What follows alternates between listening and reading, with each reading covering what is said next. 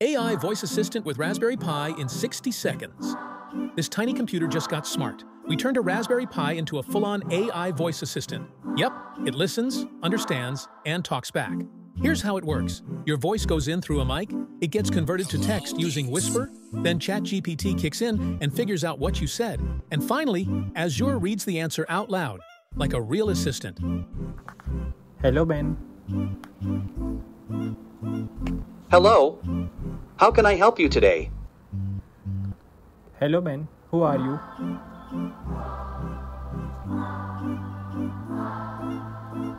Hello. I am Ben, a smart and helpful voice assistant here to assist you with any questions or tasks you may have. How can I help you today? Hello, Ben. Who is the unbeaten UFC champion?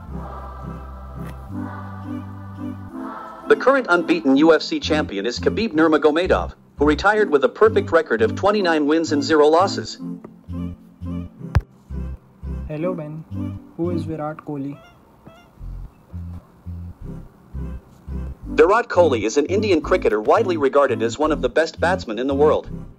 He has achieved numerous records and accolades in international cricket and is known for his aggressive playing style and consistent performance. Want to build your own? We've got a full step-by-step series that covers it all. Speech to text, ChatGPT, and text to speech in three fun parts. Check it out and give your Raspberry Pi a voice.